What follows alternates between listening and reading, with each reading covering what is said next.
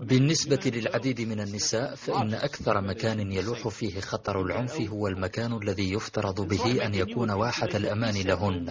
إنه المنزل. ولذلك أوجه نداء جديدا اليوم من أجل السلام في الداخل وفي المنازل في جميع أنحاء العالم. صرخة أطلقها الأمين العام الأممي. المنازل ليست ملاذا آمنا لكل النساء. وفي زمن الحجر الصحي تصاعدت أرقام العنف وحدثت مآسي أسرية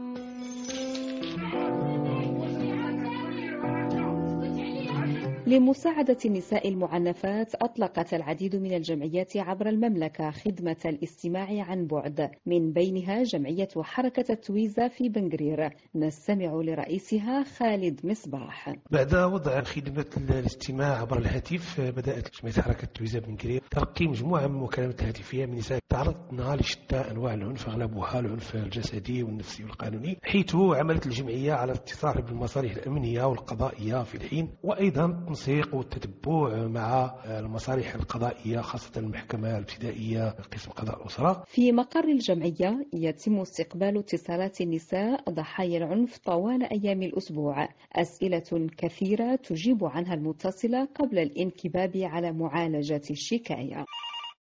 جمعية تويزا ألو. نعم لاله مرحبا. معك مركز الاستماع وأمن نساء ضحايا العنف. نعم أشو المشكل اللي عندك؟ العديد من النساء لجأنا إلى الجمعية لطلب الإرشاد والمساعدة. الخيط الناظم بينهن تعرضهن للعنف الزوجي كما تحكي لنا هذه السيدة. اتصلت بهم عاودت لهم حكايتي. باللي أنا مزوجة ربع سنين هادي عندي جوج وليدات عندي مع هذا السيد مشكل تيعنفني تيضربني ما تينفقش على وليداته وما تيصيرش عليا. العنف فيروس أيضا وينبغي مواصلة محاربته حتى في أوج المعركة ضد فيروس كورونا.